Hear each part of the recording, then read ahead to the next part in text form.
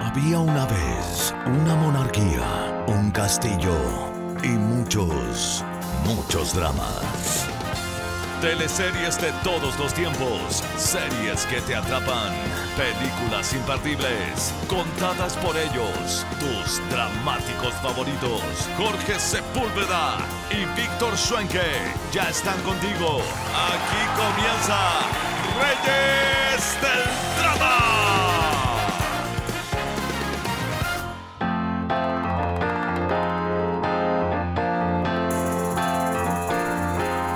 Bueno, estamos con una querida actriz joven, parte de la nueva generación de actrices nacionales. La hemos visto muy activa en redes sociales, eh, también muy comprometida con estos cambios sociales, con el estallido. Desde el estallido en adelante también se ha hecho muy presente, durante la pandemia también, crítica de este gobierno. que no, verdad? Recibimos hoy a esta tremenda actriz, Luciana Echeverría, en Reyes del Drama. Luciana, ¿cómo estás? Muy bien, muchas gracias por la invitación. Contenta de estar aquí con ustedes. Oye, qué lindo el lugar que tienes de fondo, como muy rústico, muy acogedor. Ajá. Esa madera, bonita, preciosa. Oye, eh, vamos a conversar hoy día de lo humano, de lo divino, de tus inicios, de en qué estás ahora, qué proyecto se viene, de las exitosas teleseries en las que estuviste, sobre todo, por ejemplo, Televisión, eh, una teleserie que, que, le fue bastante bien, ¿cierto? Eh, así que vamos a conversar de esto y mucho más en este capítulo, ¿cierto, Jorge? ¿Cómo estás? Así es, feliz de tenerte acá, Luciana, por fin, después de tu tiempo que íbamos a, queríamos entrevistarte.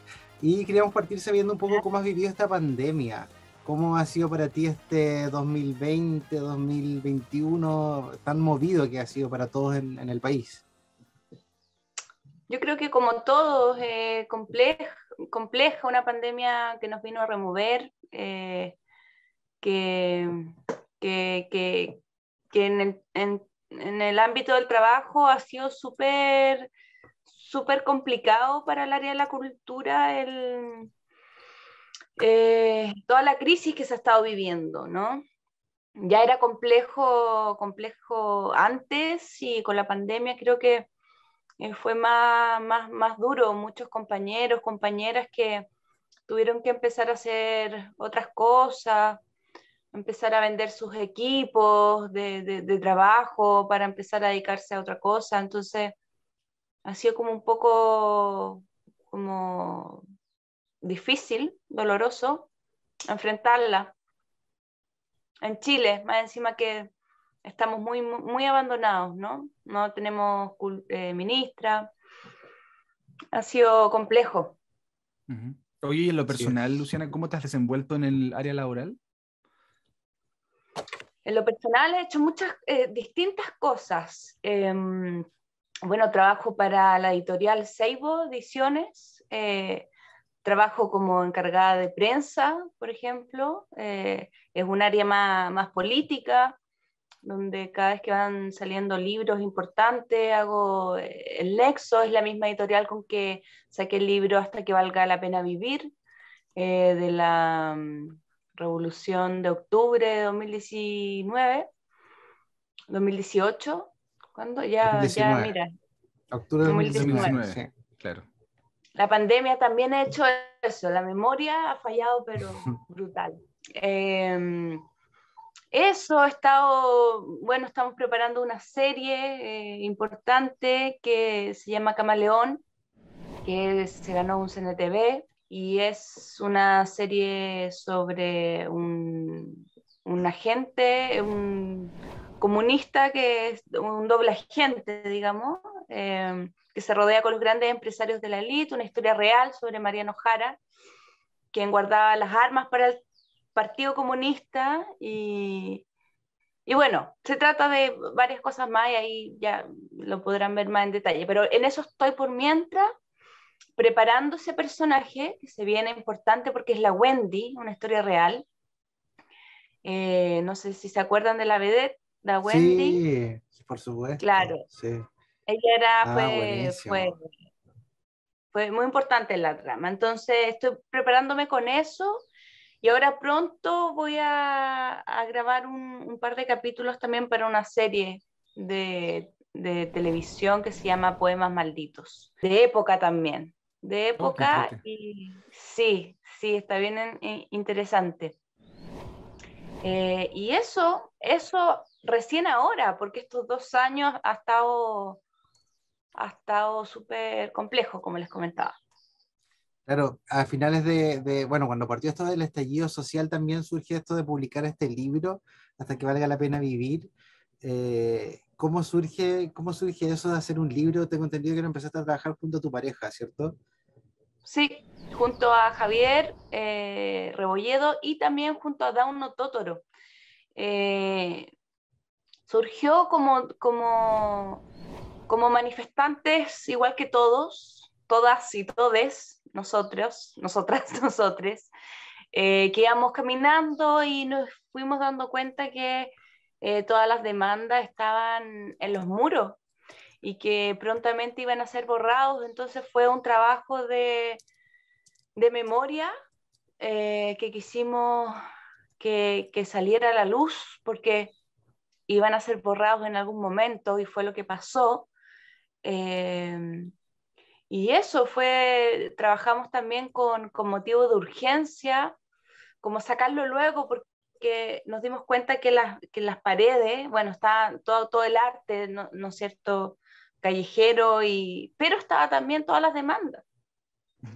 Eh, AFP, feminismo, Sename, eh, eh, la historia mapuche, y también lo que iba sucediendo eh, en esos momentos, ¿no? La violación de los derechos humanos, eh, las, torturas. Las, torturas. por parte de los vacos, eh, por parte del Estado, ¿no? Entonces era muy, muy, muy, fue muy entusiasmo, fue, ¿cómo decirlo? Fue caótico, eh, pero fue un, un proceso súper enriquecedor en el fondo. Sí. Buenísimo.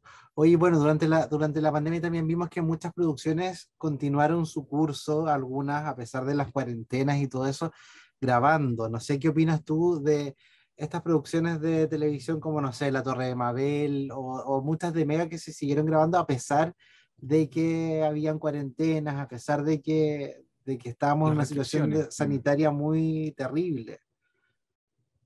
Claro. Yo hice un comentario, fue como la, la, la vez que subí algo y, y, claro, y lo, y lo pescaron los medios de comunicación con respecto a eso.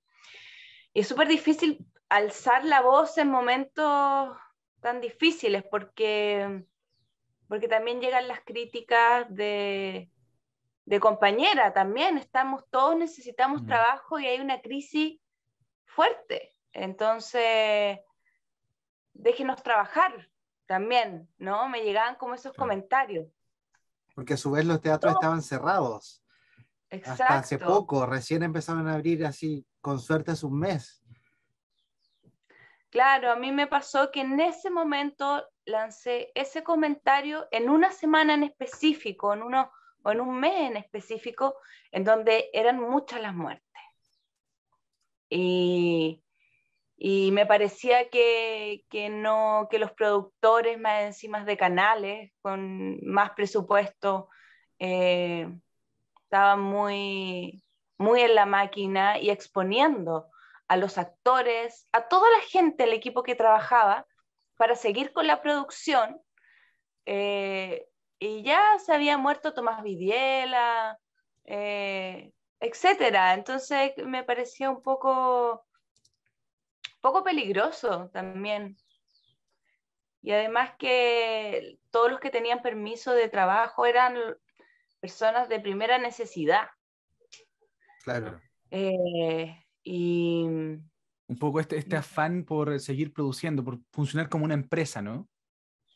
Exacto, eso es eso mismo, es funcionar como una empresa eh, violando absolutamente nuestros derechos humanos porque nos estaban exponiendo.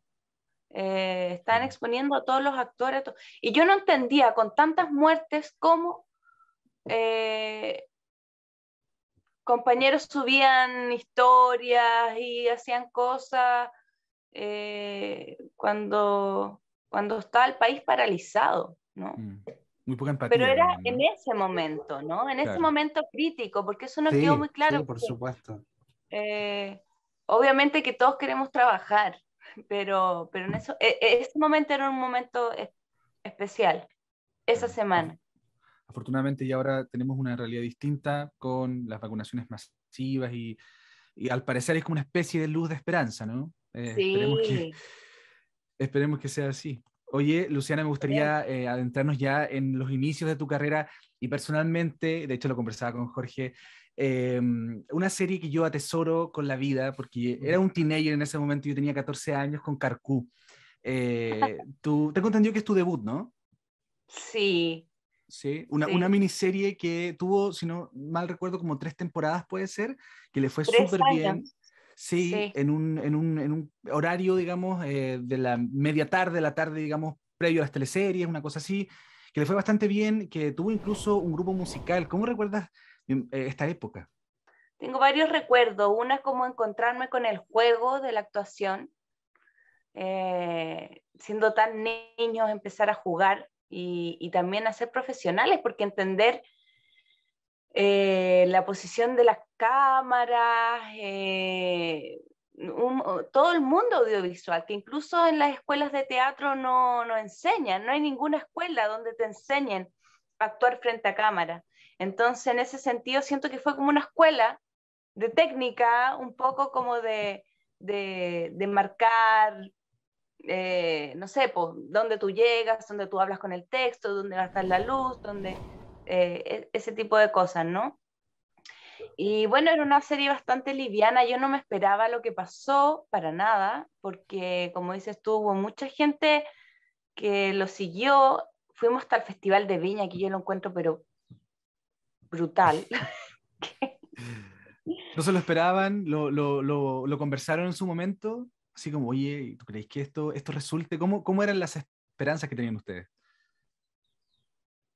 Nosotros éramos niños, o sea, nosotros jugábamos, hacíamos lo que nos decían y, y no teníamos mucho más, nos ponían la ropa que nos ponían, nos ponían el pelo que ellos querían, era un producto igual.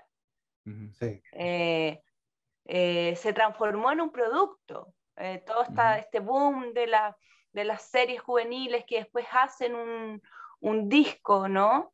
Y en ese producto muchos se creyeron el sueño y hicieron sus carreras como cantantes o como etcétera, y otros nos fuimos por la actuación, eh, pero éramos niños jugando. Claro.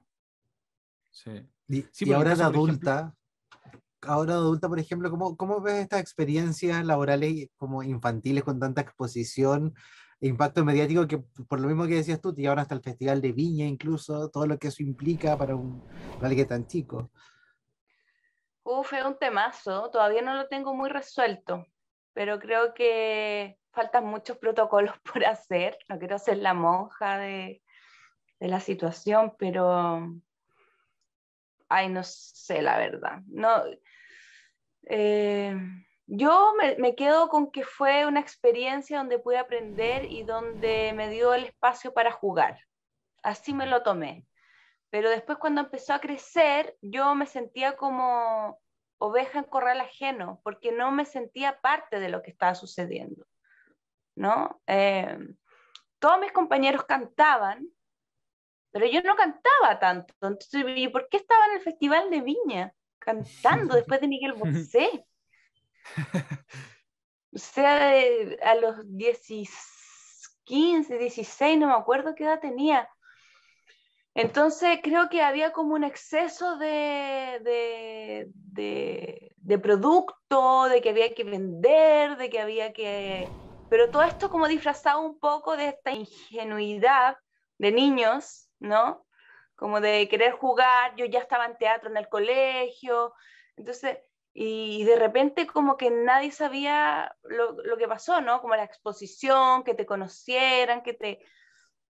Entonces, es fuerte, es súper fuerte ese, ese proceso porque uno está en etapa de crecimiento también, Claro.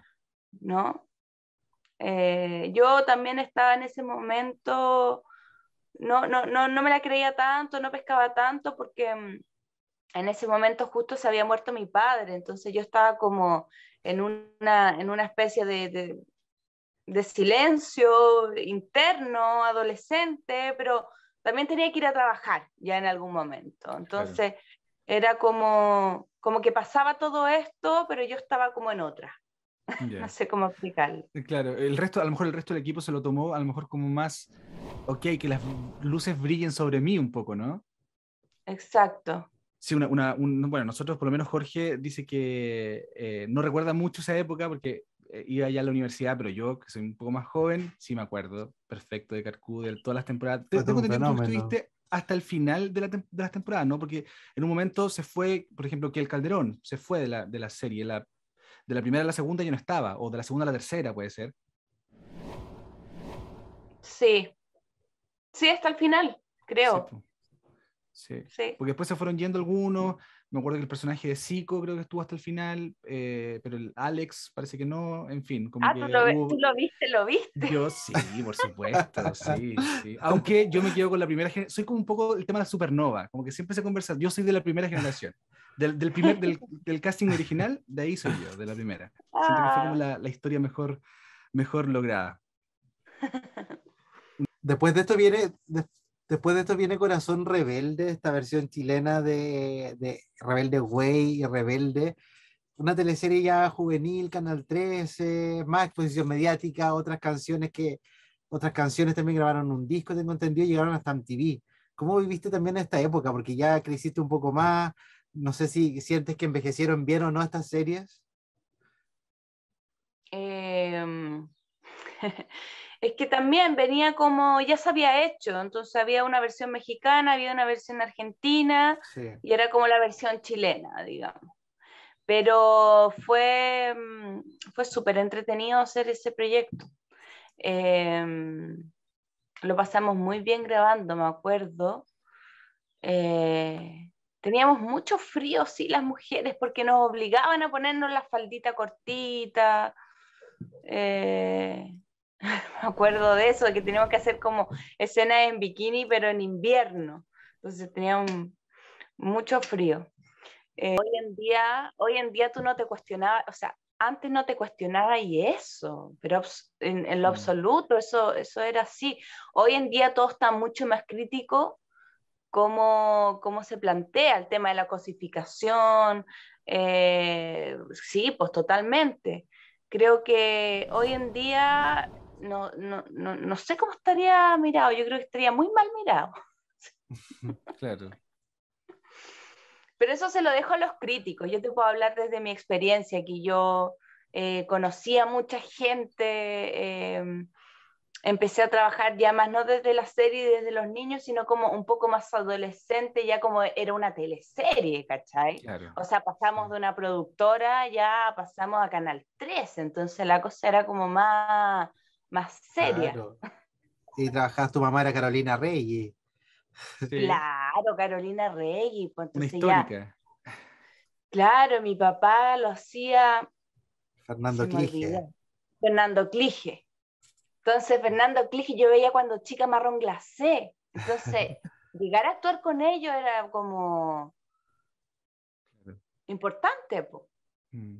Oye, ¿y tu actuación en, en Carcú? Porque nosotros siempre con, con unos amigos conversamos eh, y mira, siendo súper honesto y sin, sin ganas de generar polémica ni nada, tu actuación era la que más destacaba por su naturalidad en Carcú, hay que decirlo. Eh, ¿Eso te sirvió como trampolín, eh, así como, oye, esta chica actúa bien, tráemela para acá? en, el caso de Corazón no No, no, no, para nada, porque yo hice un casting de partida, yo he visto muy poco, me da mucho pudor verme cuando me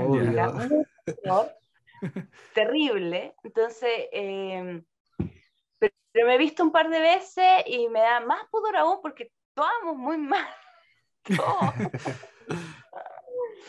Pero, pero no, no creo que haya sido un trampolín, porque me acuerdo que para Corazón Rebelde ya se había terminado la temporada y no fue como, ¿te llamamos? No, fue como que hubo un casting de mi, muchas personas, muchas, muchas, muchas, muchas, eso me acuerdo. Y yo hice el casting también, po. Y, se demoraron mucho, fue como así como, claro, puede ser que ya haya salido, pero habían otras chicas también conocidas. Claro, estaba la Denise eh, Rosenthal, la Claro, y la Denise venía con Feña, creo, eso fue algo después. Con Amango. que era como un poco la competencia de Carcú también. Claro, y la Denise era como la Denise, era como la estrella, ¿cachai? Entonces era como obvio que, que, quizá ese personaje protagónico eh, era para ella. O para otra, no sé. Yo sentía que yo no era tan, tan estrella, ¿cachai? Veníamos de una productora mucho más pobre. Oye, en ese tiempo también eh, se adoptaba mucho esto de que los rostros juveniles o de las teleseries como de moda de los canales eh, pasaban de repente a ser noteros algunos, a aparecer como alguna participación especial en el matinal, no sé qué. ¿A ti te gustaba eso? ¿Te Cubox? ¿Te sentías cómoda con eso? Porque yo sé que muchas veces esto es como parte del contrato, incluso como que te obligan un poco a hacer estas cosas. ¿O le agarraste cariño a la tele? Eh, yo creo que le agarré cariño como a la gente con la que trabajaba, como cuando uno es más chico, como que empezáis a ser amigos, como que creéis, creéis que de verdad la gente con la que estáis trabajando son amigos tuyos. eso me pasó. Siempre me he hecho muy amiga de las vestuaristas, de los peluqueros, ¿cachai? Como que de la gente que trabaja atrás. Eh, y yo creo que eso pasó y, y yo como sentía que era experiencia, Ahora no seguí porque no me, me gustó más la actuación, digamos, ¿no? Claro. Pero eran experiencias que se iban dando y que, y que, y que las hice nomás, y que tampoco duraron mucho tiempo. Oye, eh, Luciana, en el año 2010 estábamos hablando recién de este, de este como increciendo, ¿no? De una serie de una productora a una teleserie juvenil, eh, ya en un canal como Canal 13, y después a un salto todavía una teleserie más adulta, una teleserie de las 20 horas como Primera Dama, que le fue bastante bien y que hoy día también es una teleserie bien icónica. Eh, tú eras la hija del futuro presidente de la República en ese caso. Em, ¿Te gustó Primera Dama? ¿Cómo lo pasaste ahí? Súper bien. Y ahora está en Amazon. También. Sí. Está en Amazon, sí. Eh, bien, era, era, era buena la, la historia. Creo que el personaje súper bien escrita, el personaje de la Celine era súper bueno. Bueno, todos los personajes encuentro que eran súper buenos, pero esta cosa también del presidente y la familia del presidente, la Cata Guerra también, ah, me acuerdo que hacía un personaje buenísimo de la mujer que se iba para el litro, que, tomaba acto, ¿cachai? La angustia, era súper dramática. Oye, y si continuamos también en esta, en esta misma senda de las teleseries, nos vamos con una nocturna en el año 2011, Jorge.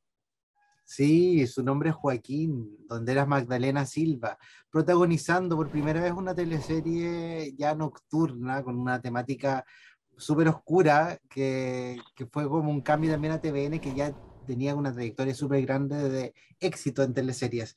¿Cómo fue ser parte de esta teleserie que tenía temas desde, desde una secta hasta el incesto, poliamor, aborto, zombies?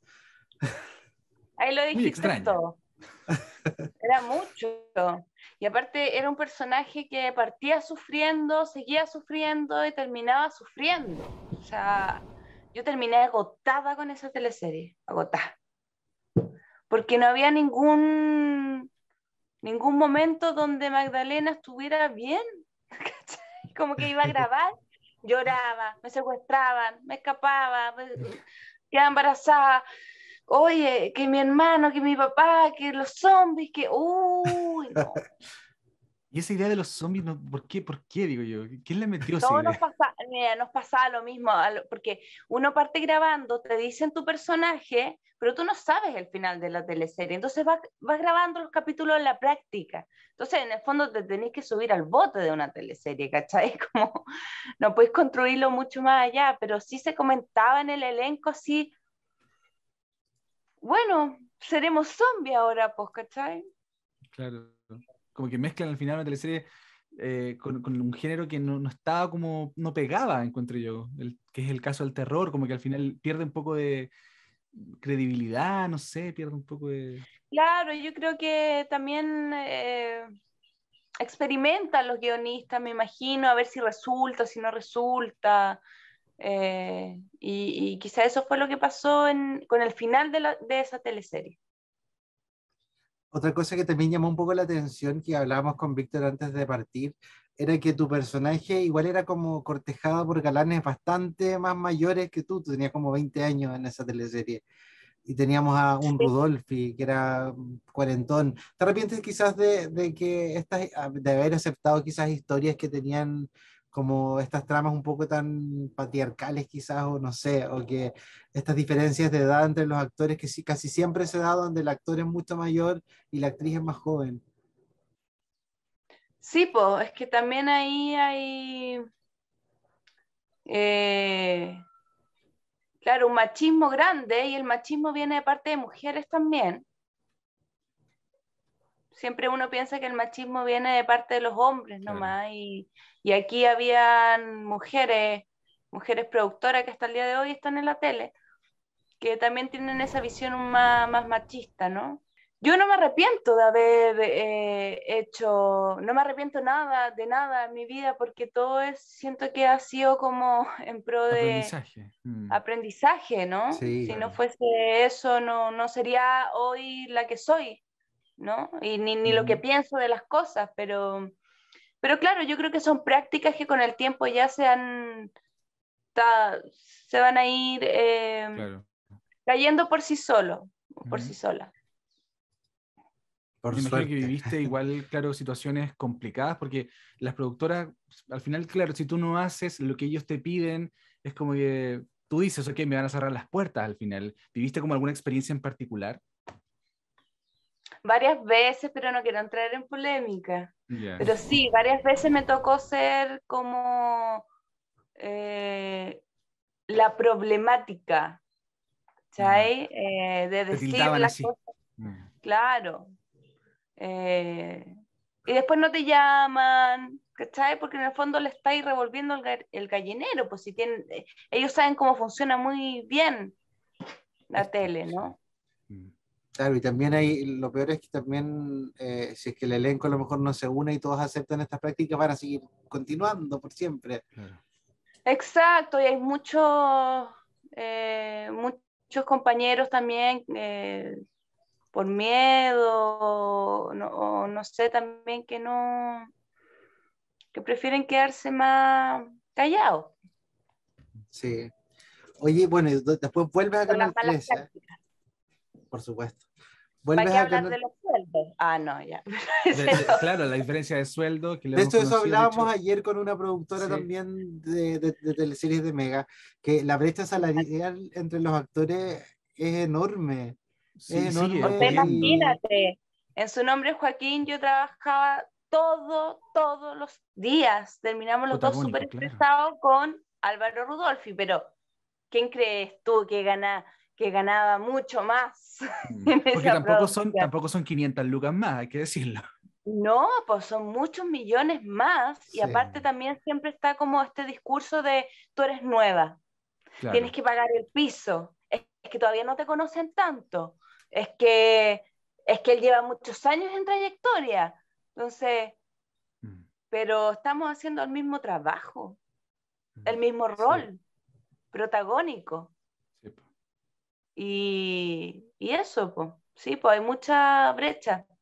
Bueno, el, uno de los argumentos que nosotros nos daban, que no sé, yo sí lo comparto realmente, es que dicen que las teleseries son estas para mujeres, entonces el rol del actor es más, es más cotizado y por eso se les paga más a los hombres.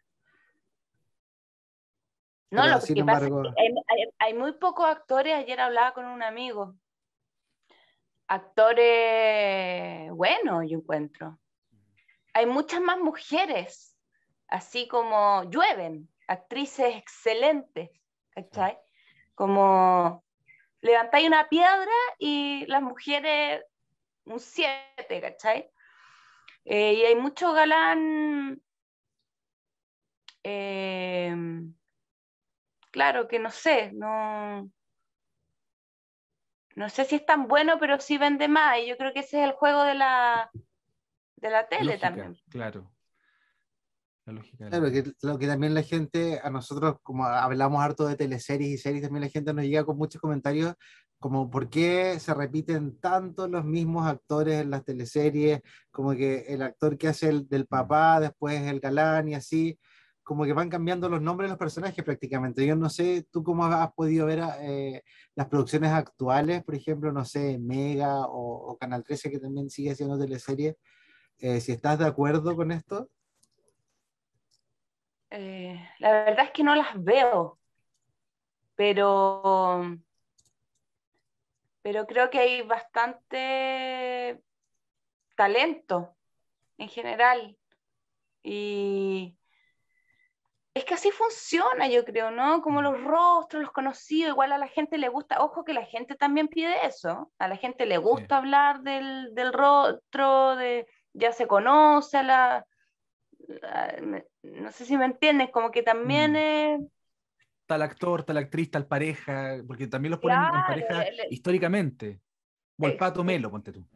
Exacto. Oye, Luciana, bueno, después, después de hacer esta teleserie, eh, su nombre es Joaquín, vuelves a Canal 13, pasa por Chipe Libre con esta Lady D, y después eh, regresa nuevamente a TVN a protagonizar La Poseída, una teleserie que eh, estábamos recordando ahora que se acerca Halloween también, porque es una joya de las teleseries que lamentablemente no fue tan bien valorada quizás en su época, y de un personaje histórico basado en un, en un hecho real del año 1800 aproximadamente, y el cual tú te habías negado a hacer en primera instancia. ¿Cómo fue eso? Sí, sí, ¿cómo supieron?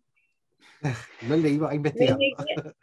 por ahí lo dije, em, me negué al principio porque venía, venía con un ritmo muy de los 15 años trabajando mm. y ya quería vivir un poco mi vida, ¿no? Entonces... Eh, este era otro protagónico y también de un género de terror súper venía después, venía después de su nombre Joaquín. Justo esta teleserie que era como... Eh, y, claro.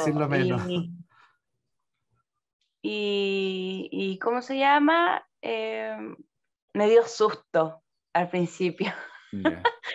me dio un poco de susto. Eh, dije, ¡ay, qué heavy la actriz que haga esto! Porque, puta, si Linda Blair, eh, o sea, en un par de escenas quedó cucú, ¿cachai? Como esto en una teleserie, mm. ocho meses no sabemos cómo va a quedar, cómo son los guiones, o sea, toda la presión y la carga que, que, que hay es, es, heavy. Entonces dije, no, no, Sagio, yo me retiro. Pero pasaron los años y yo me salí de la televisión. Hice otras cosas, qué sé yo, y después volví y... Mm, no, y nadie me llamaba, pues nadie me llamaba para nada, yo ya me había ido, era la conflictiva. Mm. Y, y me acuerdo que me dijeron que estaban haciendo el casting para La Poseída. Entonces le escribo al productor si es que yo puedo hacer el casting. Y dije, ¿sabéis qué? Yo lo voy a hacer, pero todavía no sé si lo voy a... Lo, estoy preparada para hacerlo, sino que voy a hacer a ver si es que quedo. Claro. Ponte tú que vaya a quedar porque es difícil hacer eso pero así como para sacarme el gusto, ¿cachai? Como decir, a ver. ¿Qué tal será este formato también, esta, esta historia? Claro. y aparte que andaban buscando también a muchas niñas, ¿cachai? De por todas las escuelas, había como un casting bien grande para la poseída. Mm. Y, y nada, pues fui y, y quedé, pues. Y, quedé. ¿Y la escena, te acuerdas cuál era? Con el cura. Ya. Con el cura. tenía que estar como poseída, digamos, en la escena. Ya. Con Marcelo Alonso tenía que estar normal, así como eh, que me dolía la cabeza, tú no sé. Y de repente, como que pasaba este, este demonio. Y, nada, tuvimos súper buen enganche ahí con Marcelo y, estaba Rodrigo Sepúlveda, el productor, y, y era una escena compleja y, y, nada, pues ahí quedé, así que ahí me puse a trabajar, pero con todo, dije... Ya, es una oportunidad. Voy a, hacer lo mejor posible en el sentido de, una, eh, no dañar mis emociones, de, de, tratar de llevarme esto, no como la vez anterior, sino como desde un lugar más preparada, ¿cachai? Eh, y, también me acuerdo con el equipo, con el director, también como estaba muy pendiente de todo, como de dónde estaba la cámara, por el género, porque si es que no estaba arriba, eh, no se iba a dar el efecto, ¿cachai? Podía, quedar ridículo, entonces estaba como muy, muy pendiente de, de, cositas. Oye, a ti el género de terror, me imagino que no, no te interesaba mayormente en tu vida no, pero me encanta actuar. Me, encanta actuar de, de, terror. Hicimos la película con el Pablo Llanes también, ah, Videoclub. Mm. Eh, que también éramos unos zombies. Em, hay poco. Hay sí, el tema zombie. Claro, hay poca producción también, Luciana, en, en, el ámbito del terror. Hay más policial hoy en día, incluso en esa época también. Por ejemplo, creo que una película de, mm, de posesión demoníaca fue como el 2018, creo, posterior a, a la poseída. Entonces, claro, fue un, género distinto y rico de ver también. Sí, pues era novedoso, era mm. novedoso, claro. Y también con toda esta cosa de la Iglesia Católica y la medicina, en, un país tan católico también. O sea, a mí me pasaba que, no sé, pues iba a comprar y me acuerdo una vez una cajera así como que me quedó mirando como si yo fuese el diablo. O sea, como que la gente igual, se la, eh, hay una población grande que se cree estas cosas. O sea, totalmente. ¿Realmente estará poseída ella? Claro, y saliste bien de eso y como, como que si yo tuviera ahora algo, ¿cachai? Como... Como que se te quedó metido el, el, el demonio. demonio. Claro, claro, hay gente así. Bueno, esta, esta, teleserie ponía mucho en contraposición eh, el tema de la ciencia versus la iglesia, como estará poseída o estará enferma. ¿Cuál es tu posición al respecto? Porque para enfrentar un personaje así me imagino que también tiene que haber una preparación previa. Yo me leí el eh, de la Carmen Marín. El expediente de Valparaíso, entonces ahí salía realmente lo que decía el cura, ¿cachai? Que efectivamente era una niña que, que hablaba en otras lenguas, que se retorcía, que escuchaba cuando llegaba y él estaba muchos pasos más atrás. Y era una historia bien triste porque a Carmen Marín la ocuparon como conejillo de India con esto. Entonces iban los curas, los médicos las la ponían delante de muchos, la población, la hipnotizaban. Eh.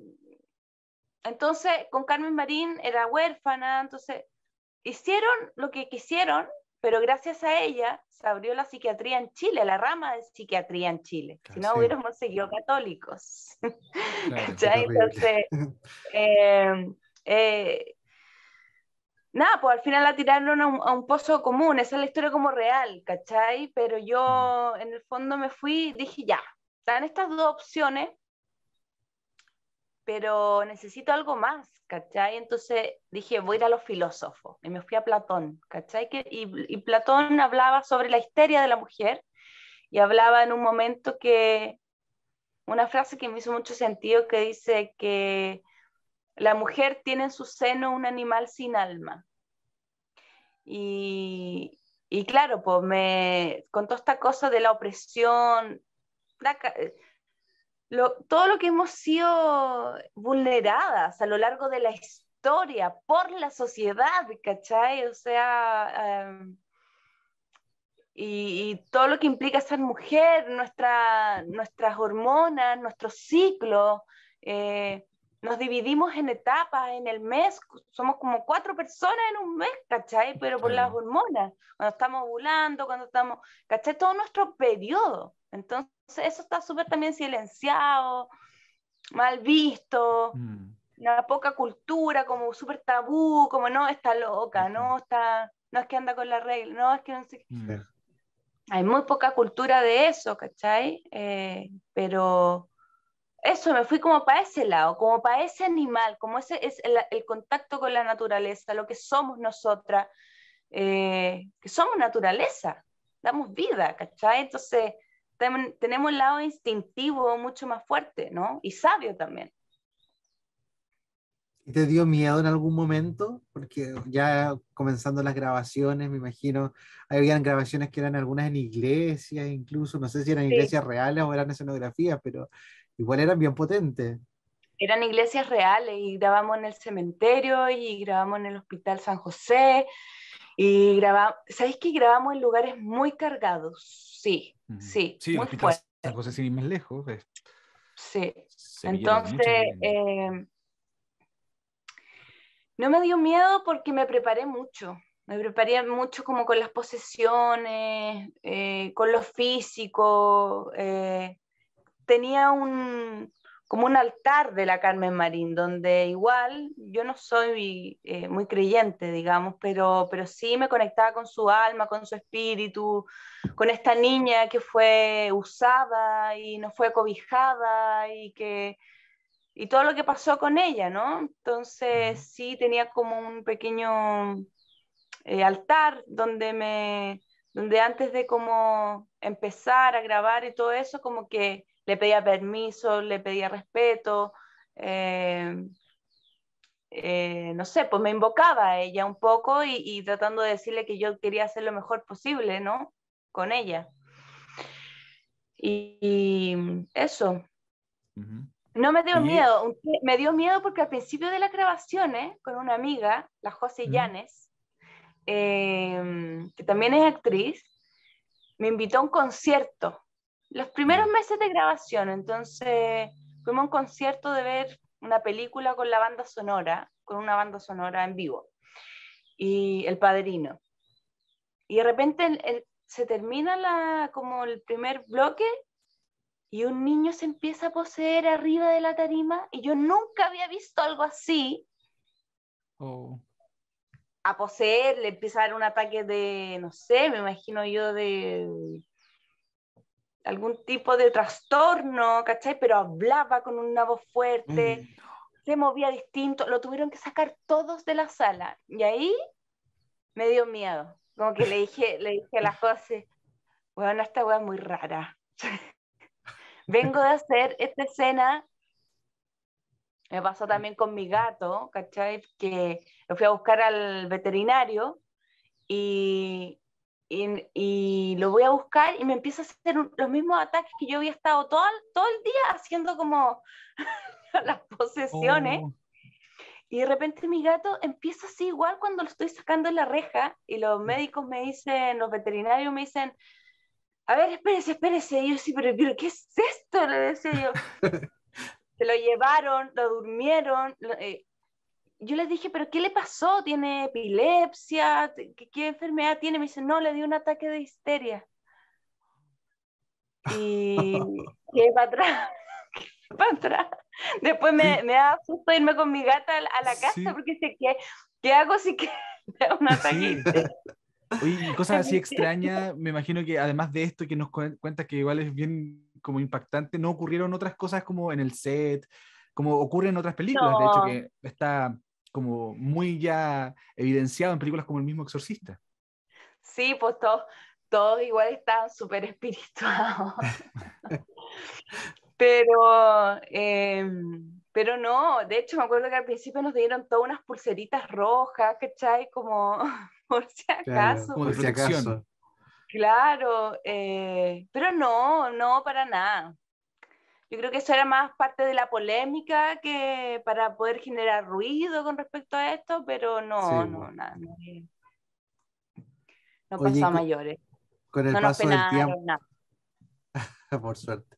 Con el paso del tiempo, estas tremendas producciones que hacía TVN, ¿cómo ves ahora la situación de TVN en qué terminó? Que ya finalmente no se hacen teleseries, de un momento a otro se cerró el área y, y, de otros canales teleseries en el canal estatal y de otros canales.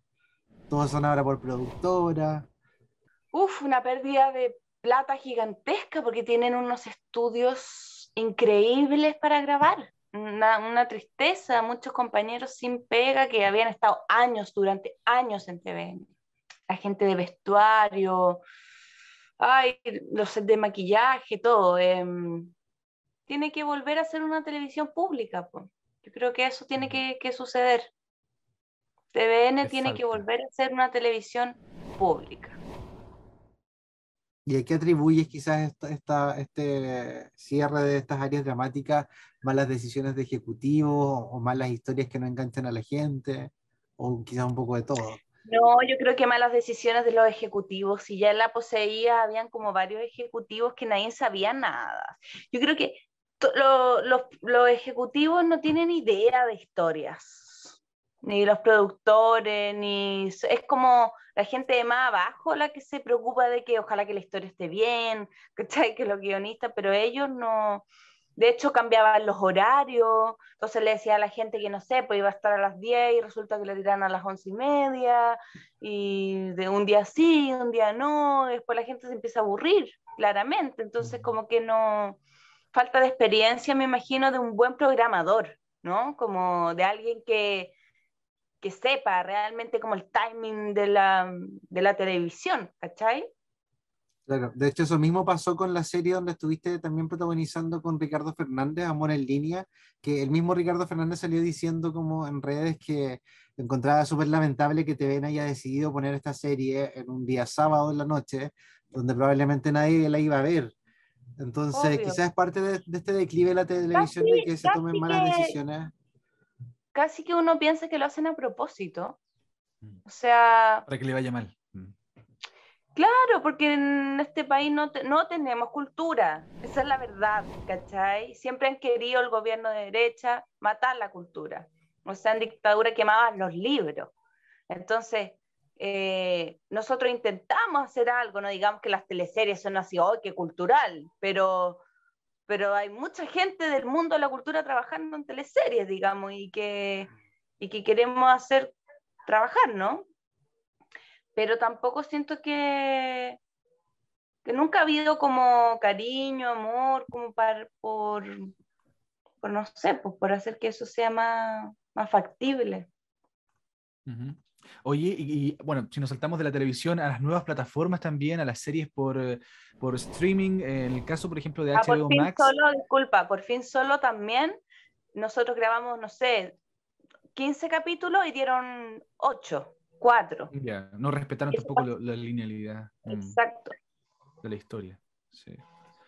Oye, te preguntaba por este tema de eh, las transmisiones o las producciones que se emiten en streaming, eh, no sé, Amazon, Netflix, que también son plataformas súper buenas para la gente eh, de todas las edades, hay que decirlo. En el caso, por ejemplo, de HBO Max, con esta serie Marian Mike, tú interpretaste a Mónica Lagos ahí, que también se relaciona con el tema de la dictadura, que es un tema súper sensible para nuestro país. ¿Te cuento un poco de mi personaje? Sí, cómo fue meterse en ese mundo tan oscuro de la, de la dictadura. Del lado, del lado bien malo. Sí, pues me llamó la atención también y como que mm, también con toda esta ola feminista, si bien eh, yo soy fundadora de la red de actrices, pertenezco a un, un, movimiento feminista y todo, pero esta, estos personajes o estas cosas también nos hacen ver la realidad, ¿no? Que hay mujeres que pueden ser mucho más violentas también que los hombres. Entonces, este personaje eh, era una mezcla de agentes de la DINA, ¿no? O, trataba de ser una mezcla de agentes de la DINA, entre ellas la Ingrid Olderock, quien era esta mujer que adiestraba perros para violar a las víctimas, eh, quien fue donde el Mamo Contreras para decirle yo quiero ser la directora en, San Antonio, en Tejas Verde, para adoctrinar a las mujeres. Era una mezcla de ella, era nazi, completamente nazi, papá nazi. Eh, estaba la flaca Alejandra, estaba la Liliana Walker, que era una chica que había bailado en un canal de televisión, no me acuerdo cuál, eh, este, música libre, música libre. y que después la contrataron Como, como agente. Entonces participaba como amante, señora, de, para ir a hacer atentados o qué sé yo. no me acuerdo quién más. Ah, la Chani, eh, la secretaria del Mamo. Entonces era como una mezcla de, estas mujeres que hacían distintas labores ladinas eh, y, y, en esto se transformó Mónica Lagos, ¿no? Y, y, fue un personaje bien, bien interesante de investigar, sobre todo con esto que hablamos de la dictadura, de, de, de, la poca información que tenemos. Fue como un paso también para mí para poder eh, investigar, saber más. No, yo no tuve educación cívica, siempre lo he dicho, entonces creo que, que, que uno se va educando un poco como en mi caso y lo, lo, rico que tiene esta profesión con la profesión, ¿cachai? A veces te obliga a entrar en temas.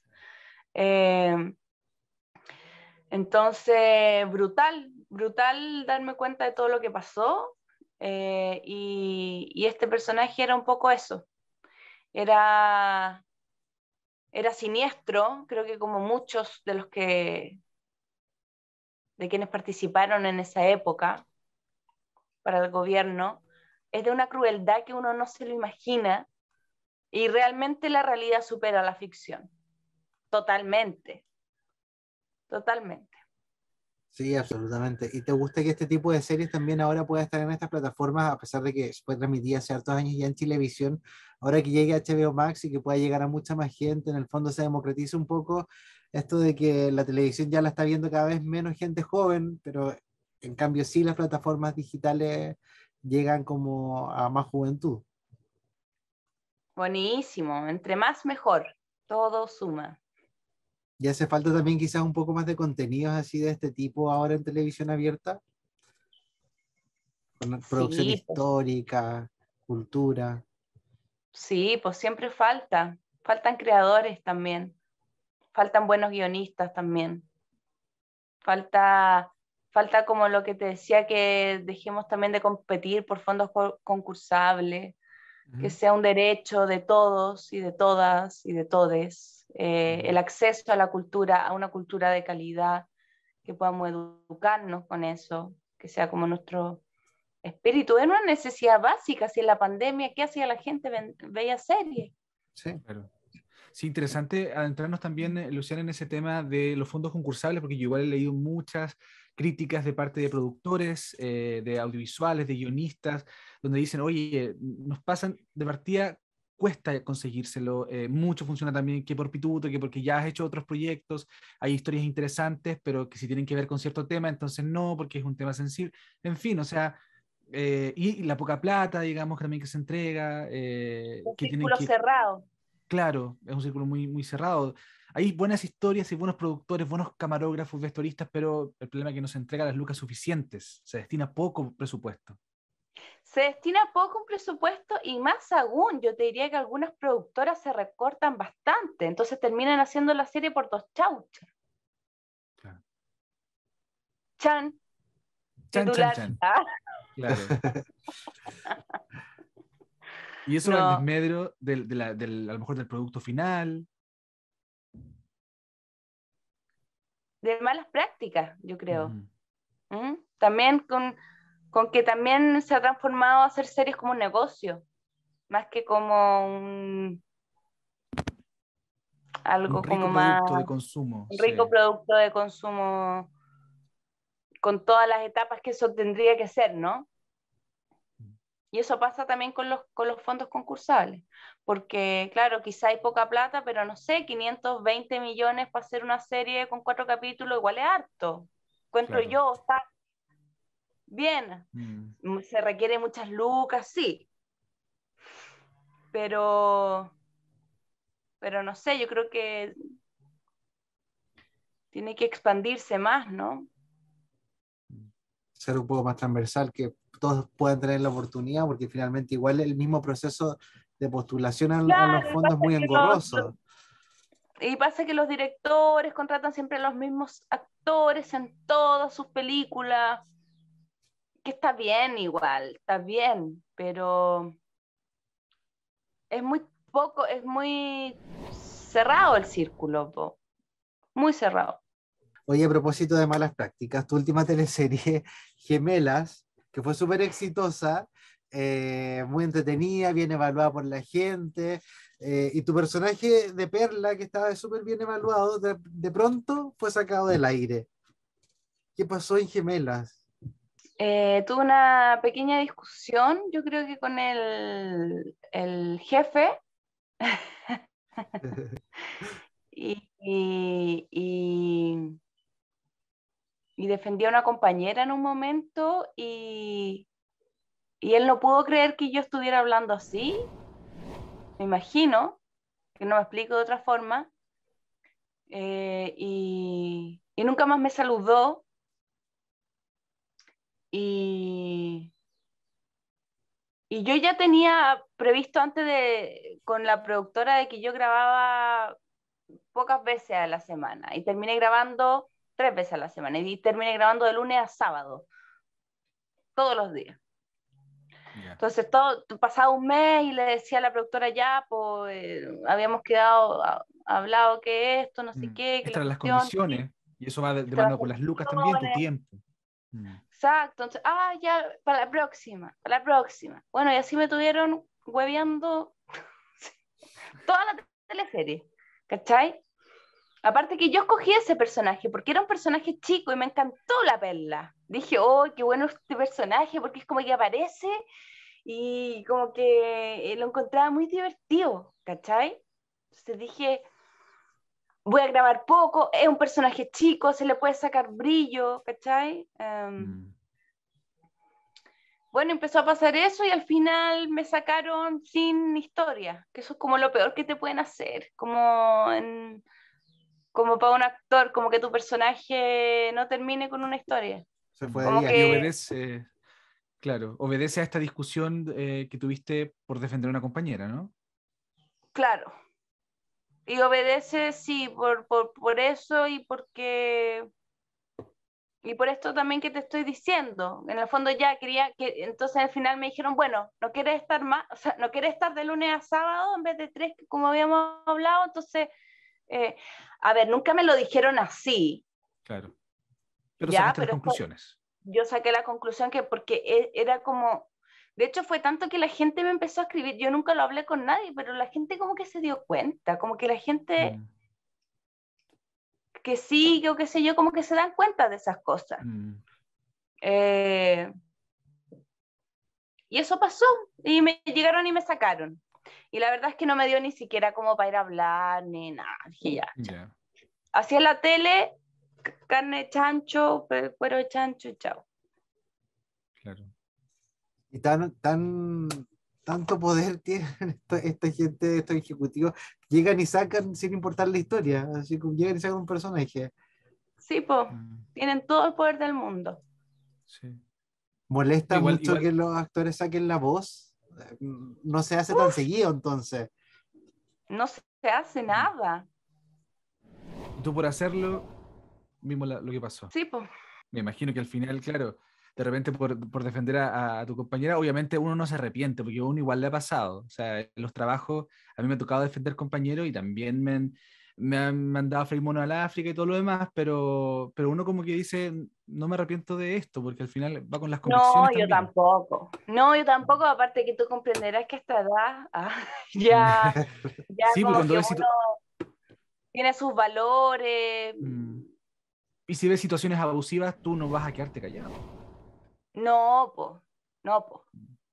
Nunca lo he hecho, ni porque no, no, no me interesa pertenecer a, a ese mundo ni rodearme con esa gente. Mm. Entonces, si eso quiere decir que no esté en una producción, bien, haré otra cosa, escribiré libros. Claro. haré libros, haré otras cosas, asumo el riesgo, sí. Mm. Y uno piensa de repente que todas estas prácticas abusivas ya no pasan, que pasaban más en los 90, en los 2000, pero es triste que siga pasando todavía. Sí, pues como yo ya estoy lejos de, la, de las teleseries, estoy súper lejos, no sé.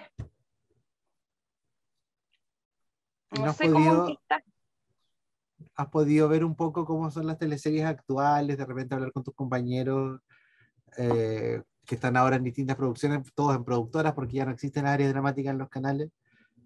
Claro, la mayoría lo hace por, por la pega, pues obvio, mm. pero no, no sé si les encanta, hay algunas que sí, que les encanta lo que hacen, pero, pero no sé si a todos y todas. Oye, ¿y, qué pasa con, con, la televisión ahí? Porque claro, desde Gemelas eh, a la fecha, eh, salvo eh, producciones como esta, como series, qué sé yo, no te hemos visto más en televisión como formato, digamos, hablando de la pantalla chica, como se le dice. ¿Planeas volver en un momento? ¿Hay algo como alguna idea por ahí? Lo que te comentaba al principio, esta serie de Camaleón, y una serie que estoy grabando ahora que se llama Poemas Malditos, que son del año 1800, también un poco como medio un west de terror. Eh, la dirige Juan Sabatini. Em, eso por mientras. Ya. ¿De eh, teleseries como tal, como formato teleserie? Nada. No, no, no sé si, no, no, nunca tiene que decir nunca, pero no sé si mm. vuelva. Ya. No creo que vuelva. Salvo que exista una idea. Salvo, que exista una idea potente, un guion. Una idea potente, con un equipo potente, con gente que, no sé, de, si es mm. que surge así, claro, de todas maneras. Eh, y si es que también estoy, no sé, pues muy necesitada también. Eso es sabido, si uno hace también sí, por, ¿cachai? Mm. Por eso digo, uno nunca puede escupir al cielo, porque probablemente eh, anda a saber tú, ¿cachai? Mm. Pero por las prácticas, por todo lo que hemos hablado, siento que no es un, un lugar muy ameno, muy, muy eh, sensible. Sí, los compañeros, los compañeros, las compañeras, el los equipos, ¿cachai? Todo eso es súper rico. Pero todo lo que si uno hila un poco más de fondo para atrás, ¿cachai? Eh, tiene sus sombras también. Claro, y de repente es más grande la sombra que, que la luz en algunos de estos trabajos. Bueno, Luciana, te queremos agradecer por haber estado hoy día acá con nosotros en Reyes del Drama. Te mandamos un tremendo abrazo y te queríamos pedir antes de que te vayas si le puedes enviar un saludo a la gente que, que nos sigue en Reyes del Drama a través de Spotify y YouTube para que puedan escuchar esta entrevista. Reyes del Drama. Sí. Así, ya. Les quiero mandar un saludo a toda la gente que sigue Reyes del Drama. Los invito a escuchar esta conversación que tuvimos salieron varias cosas interesantes y no también para escuchar. Es, saludos. Muchas gracias, gracias Luciana. Gracias a ustedes. Escuchar esto implica que te quedaste hasta el final. ya veo, una persona muy dramática. Disfruta nuestros capítulos en Spotify y YouTube. Termina Reyes del Drama.